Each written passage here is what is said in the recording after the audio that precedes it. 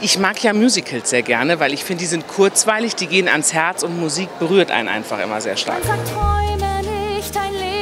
Die fabelhafte Welt der Amelie ist total fabelhaft. Ich stehe jetzt hier gerade im Café von Amelie. Also es ist sehr bunt.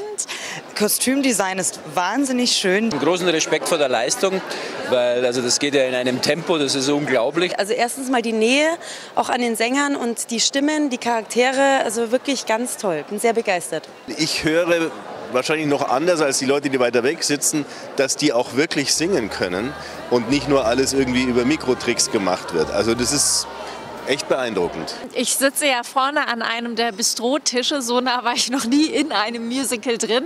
Es ist wahnsinnig äh, abwechslungsreich und unterhaltsam. Und die Amelie ist einfach zum Niederknien.